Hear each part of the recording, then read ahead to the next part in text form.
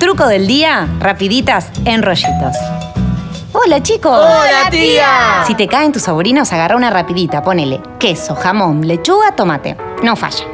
Rapiditas Bimbo es la solución más práctica y rica para tus comidas.